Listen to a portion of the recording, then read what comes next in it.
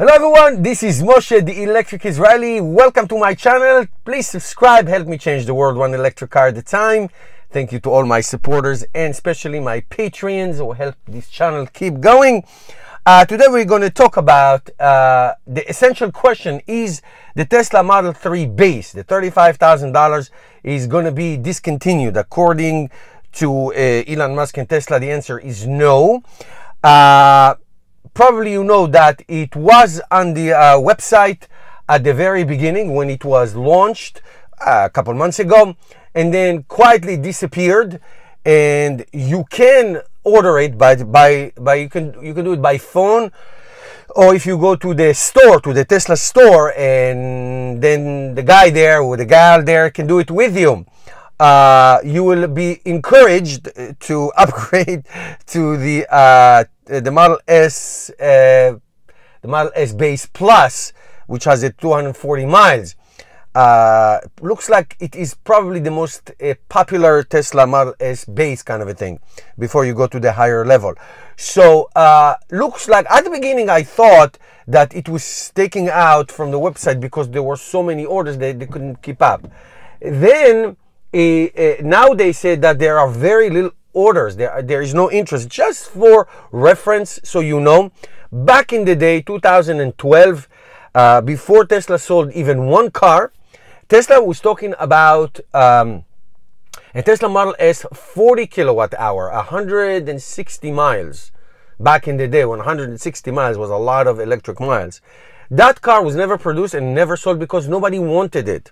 I tell you, as a um, electric car owner, you know, I I had the Nissan Leaf with 80 miles and I drove it for three and a half years for 40,000 miles and it was just fine.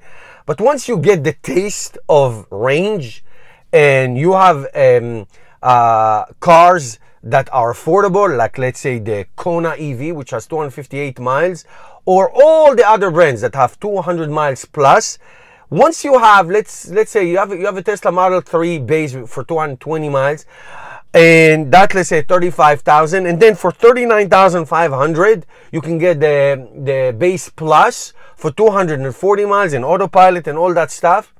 People make that jump. People make that leap. I go to tesla center often and i have guys there who have tesla model s performance knowing that they're going to buy whatever it is, the, the rear wheel like I have, the rear wheel drive, and then they immediately, you know, you get the taste, you get tempted, and you want the best, and you absolutely want the best. So I am not surprised that there is not too much demand. Um, you know, when somebody gets to those numbers, 35 and up, you are going to go for the range and for maybe autopilot or color that you like or whatever it is that you want and that's natural so i am not uh, uh, surprised that um, uh, it's uh, there is no much demand and i will not be surprised if it will take it out i think it's wise to keep it on uh, I think the the uh, version in China that's going to be sold will be produced as the base because the economics there are different. For example, the Model Y, the future Model Y, you have uh, the 300 mile and the 280 miles. There is a base version for, I believe, 240. It's not in the website, and I will not be surprised that it will never produce. Never be produced. Never. Uh, so we'll see what happens. Let me know what you think. Uh, if you are in the market for, let's say, a base Mal S, Mal A, a 3, would you like go for it and do the next level to get more miles and autopilot? Let me know what you think. If you are in the market for a Tesla anyway, please use my link. Thank you for your, for your support. You can get a lot of free miles. Consider uh, becoming a patron for this awesome channel. I'll see you tomorrow. Help me change the world one electric car at a time. Thanks, guys.